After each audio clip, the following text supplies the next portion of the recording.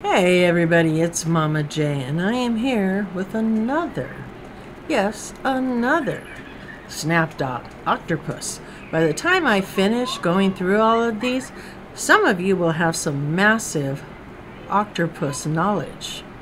And you never know. You know me and my trivia with giveaways. Just saying. Just saying. Alright, so we got another one here. As you know, I had grabbed a few on clearance in hopes to find the purple one because we only needed purple and green. We scored the purple one right away. So that was the harder one to get. So now we're trying to get the green one, which is a common. So let's see what happens with this one, okay? And then when we open it up, this is for you. In many ways, the octopus is as close to alien life as we may ever see. Few creatures in the world are as remarkable and bizarre.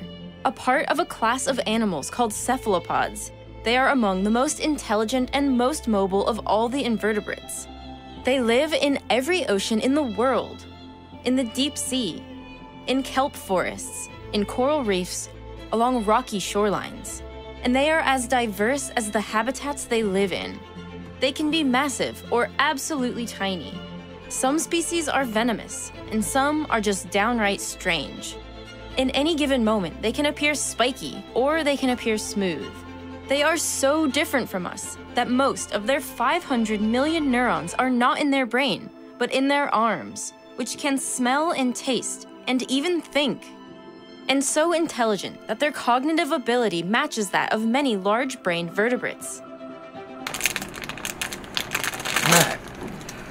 Alright. So we only need the green. Will we be lucky? What color do you think it is? Ready? Boom! what? We scored a second purple one. He's beautiful though. He's really beautiful.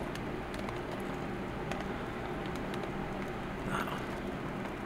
So, we didn't get the green one, but we scored a second purple one, so that's pretty awesome.